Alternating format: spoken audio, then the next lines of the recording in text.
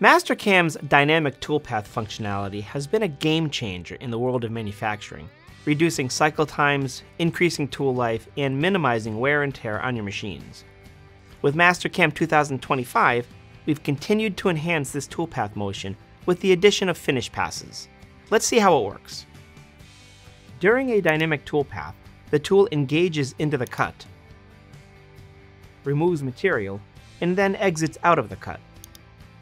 On this outside wall, we might see tool marks as the tool repeatedly re-engages with material. With Mastercam 2025, we have a new section for finish passes, which can help clean up these marks. Let's turn on finish passes and leave half a millimeter for one finish pass. As expected, we have many of the typical finish pass settings, including whether you want spring passes, overriding the feed rates, and even the cutting method and compensation type.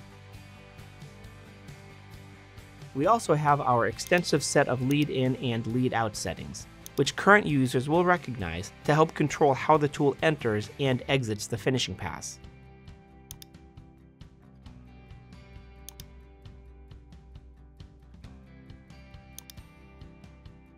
Once we regenerate the toolpath with our finish passes enabled, we see that we now have additional toolpath motion cleaning up the wall and removing the remaining material.